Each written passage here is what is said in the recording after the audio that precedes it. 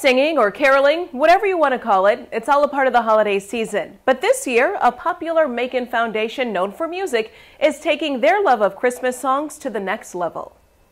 The holiday spirit is alive and well at the Otis Redding Foundation in downtown Macon, and the group is hoping to spread that cheer with what else? Merry Christmas, baby. Music. Should it treat me nice?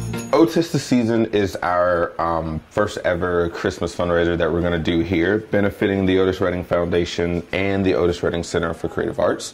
Justin Andrews is the Director of Special Projects and Outreach with the foundation. He says it's community events like Otis the Season that helps keep the foundation running year after year. Without it, I mean, we wouldn't be able to do the programming that we do. Programs like music education camps that have been giving Central Georgia kids a creative outlet for over a decade. We are big on, of course, music and education is number one, is our number one component.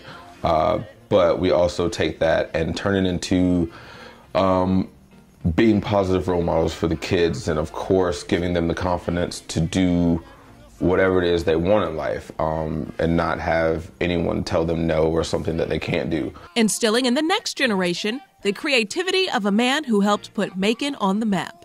You got to keep Otis Redding relevant because, you know, without Otis, some of these new musicians that you hear now, um, they either wouldn't exist or wouldn't have the sound that everybody loves um, coming from these new artists.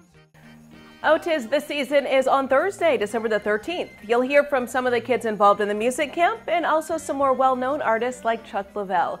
The tickets range from 25 to $50. You can buy them and find out more information at otisreddingfoundation.org.